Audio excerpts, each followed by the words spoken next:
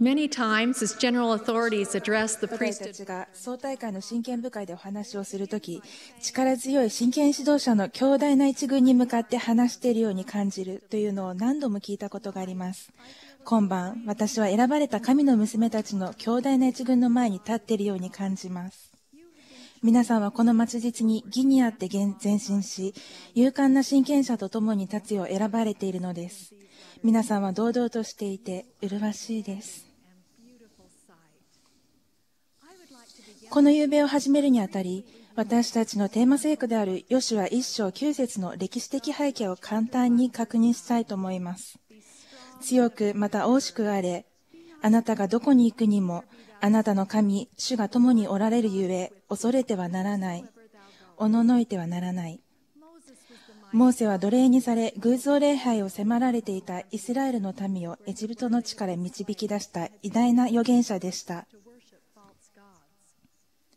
荒れ野での40年もの苦難の末、イスラエルの民は自由を手に入れて、誠の生ける神を礼拝することのできる、新しい生活の地の間近までたどり着きました。モーセの死後、この奇跡の旅を最後まで続けられるよう、ヨシュアが神によって預言者に召されました。ヨシュアは影響力を持った指導者でした。聖書辞典には、ヨシュアが敬虔な戦士の最も素晴らしい例であると記されています。またその名前の意味は、神は救いであると記されています。ヨシュアの霊感に満ちた指導力は大きく必要とされていました。主がイスラエルの人々に約束してくださったすべてのことが実現され、成し遂げられるためには、まだ多くの川を渡り、多くの戦いに勝つ必要があったからです。この時、預言者ヨシュアとイスラエルの人々が大きな勇気を必要としていたことを主はご存知でした。ヨシュア記の第一章の中で、主はヨシュアに強く、また惜しくあれとたびたび言っておられます。惜しいという言葉、つまり勇気は危険や恐れ、困難に耐え、抵抗する精神的、道徳的強さと定義されています。ヨシュアとイスラエルの人々は勇気と従順さによって約束の地に足を踏み入れ、主の祝福の中で幸福を得ることができました。ヨシュアとイスラエルの民は大昔に生きた人たちです。しかし今日、私たちも約束の地を踏めるよう懸命に努力しています。私たちの最大の目標は永遠の命を得て天のお父様と共に住むことです。吉脇の第一章の中に私たちが障害を乗り越え旅を最後まで続け約束の地で主から祝福を受けるための4つの信頼できる指針を見つけることができます。一つ目に、第五節の中で主はヨシュアに、私はあなたを見放すことも見捨てることもしないと言っておられます。主がいつも共にいて、私たちを決して一人にしておくことはなさらないというこの約束から、私たちは勇気と強さを得ることができます。私たちは天のお父様がご自分の子供たちを一人一人ご存知で愛しておられることを教えられています。天のお父様の大切な娘として、皆さんは祈りの力を通して天のお父様の約束と導きを受けることができます。教義と制約にはこう書いてあります。あなたは謙遜でありなさい。そうすれば主なるあなたの神は手を引いてあなたを導き、あなたの祈りに答えを与えるであろう。私はこの言葉を信じています。そして天のお父様が私たちの祈りを聞き、答えてくださることを約束します。しかし多くの場合、私たちが主を待ち望むときは、忍耐する必要があります。答えを待っているうちに、私たちは見捨てられたとか、祈りが聞き届けられなかった、あるいは祈りの答えを受けるにふさわしくないのかもしれないと思い始めるかもしれません。けれども、それは間違っています。ダビデ王の言葉は私たちの励みとなります。私は耐え忍んで主を待ち望んだ。主は耳を傾けて私の叫びを聞かれた。吉脇にある第一の指針は、私たちがそれぞれ自分の旅の中でどんなことがあろうとも祈り、忍耐し、私はあなたを見放すことも見捨てることもしないという主の約束を心に留めておくことを思い起こさせてくれます。二つ目の指針は七節の中にあります。主はヨシュアにこう言っておられます。立法をことごとく守って行い、これを離れて右にも左にも曲がってはならない。それはすべてあなたが行くところで勝利を得るためである。主はヨシュアに厳密に戒めに従順になるように、また主の道から外れることのないように教えました。ハワード・ W・ ハンター大官長はこう教えられました。ヨシュアは主に従順であれば、万事守備よくことがことが運ぶことをしていました。どのような経過でそうなるのかははっきりとはわかりませんでしたが、今や必ずそうなるという確信を持つことができたのでした。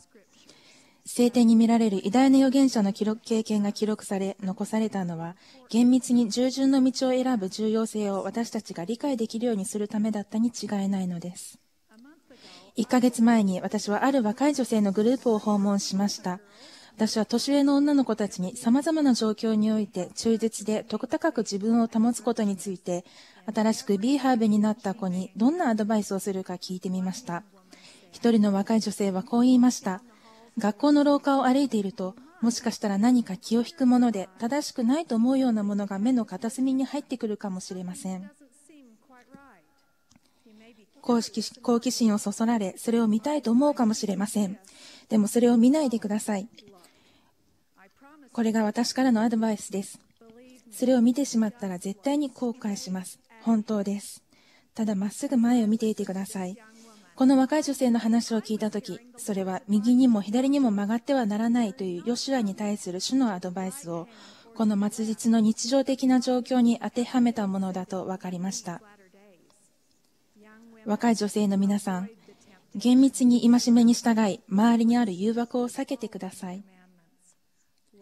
永遠の目標をまっすぐ見ていてください。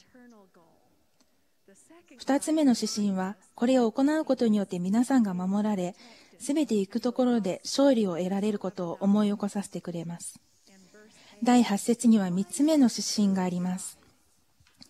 ここで主は立法の書について語り、ヨシュアにこう言われました。昼も夜もそれを思い、そのうちに記されていることをことごとく守って行わなければならない。そうなるなら、そうするならば、あなたは勝利を得るであろう。主はヨシュアに、そして私たち全員に聖文を読むように教えています。日々の聖文研究、特にモルモン書を読むことは、イエス・キリストとその福音に対する証を得るためのしっかりとした基盤を作ります。そして生活の中に精霊を招きます。ハロルド・ビー・リー大官長はこう勧告しています。もし毎日聖文を読んでいないとしたら、私たちの証は次第に痩せ細り、霊性が深まることもありません。成分の中には数えきれないほどの指示や約束、解決策、警告があり、私たちが約束の地へ向かう旅路において助けとなります。三つ目の指針は、私たちが毎日成分を読み、それについて深く考えることによって、勝利と成功を収められるようにしてくれます。主がヨシュアに語り終えられた後、ヨシュアはイスラエルの民に向かって話をしました。話の終わりにイスラエルの民は第16節の中でヨシュアの言葉に答え、私たちに4つ目の指針を与えてくれています。彼らはこう答えます。あなたが我々に命じられたことは皆行います。あなたが使わされるところへはどこへでも行きます。私たちは末日生とイエス・キリスト教会の会員として、それと同じ決意、つまり今晩私たちと一緒におられる預言者、トーマス・エス・モンソン大官長に従うことを決意する機会があります。祈りと精霊の確認を通して、私たちは皆生ける預言者に対する個人的な証を得ることができます。この証は預言者の教えに耳を傾け、それを守り、日々の生活に当てはめる勇気を持つことによって強められます。預言者の勧告に耳を傾け、それに従っていれば、私たちは特別な祝福を得ることができます。前回の総大会でモンソン大官長が語った預言者の約束のいくつかを読んでみたいと思います。神が皆さんを祝福してくださいますように、主の約束された平安が常に皆さんと共にありますように、私たちが忠実でいるならば、大いなる約束が待ち受けています。天の祝福が皆さん一人一人の上にありますよう祈ります。来週の総大会で、私たちの預言者や十二使徒を通して与えられる教えや約束に耳を傾けることを進めます。それから、預言者の勧告に従うことを決意し、預言者が我々に命じられたことは皆行い、預言者が使わされるところへはどこへでも行くことを再確認することによって、4つ目の指針に従ってください。これら4つの指針、すなわち祈り、神の戒めに対する従順さ、日々の成分研究、そして生きる預言者に従うという決意は、今のところ小さな簡単なことだと思えるかもしれません。ここでアルマ書にある聖句を思い出してみましょう。見よ、私はあなたに言う。小さな簡単なことによって大いなることが成し遂げられるのである。ヨシュア書の中にあるこれらの4つの小さな簡単な指針を日々の生活に当てはめるとき、それらは組み合わさって天のお父様とその恩子イエス・キリストへの信仰をもたらすのです。そしてこの信仰は勇気と強さをもたらす最も大きな力の源となるのです。天のお父様は私たちの旅が簡単なものではないことをご存知です。私たちは毎日勇気と強さを必要とする状況にあります。最近のチャーチニュースの中にそのことを確信する話がありました。数ヶ月前、一人の高校教師が授業の初めにある政治問題について賛成する人を教室の片側に立たせ、反対する人をもう片側、もう片方の側に立たせました。生徒たちが両側に分かれると、その教師は反対する人の方に加わりました。そして賛成の側から一人の若い女性を選び、その生徒や他のクラスメートの意見に対して非難の言葉を浴びせました。ワードのマイアメイドであったその若い女性は、自分の意見を批判する攻撃に耐えました。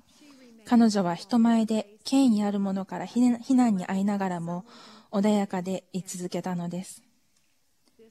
この若い女性は自分の戦いの場で、この時は学校でしたが、素晴らしい勇気を示しました。どこにいても、どんなことがあろうとも、皆さんが吉脇にある指針を生かして、次の主の約束を信じることができるように望んでいます。強く、また大しくあれ。あなたがどこへ行くにも、あなたの神、主が共におられるゆえ、恐れてはならない。おののいてはならない。私は天のお父様が皆さん一人一人をご存知で愛してくださっていることを証しします。皆さんが主に頼るとき、主は皆さんをお見捨てになることはないのです。主は私たちが身元に帰る旅を最後まで続けられるように、必要な強さと勇気を祝福してくださいます。私は成分と預言者ヨシュアのような力強い模範に感謝しています。また、私たちが天のお父様のところへ無事に帰れるように懸命に導いてくださるモンソン大官長に感謝しています。私たち皆がイスラエルの民のように約束の地を踏み、主の祝福の中で安らぎを得られるように祈っています。このことをイエス・キリストの皆により、アーメン。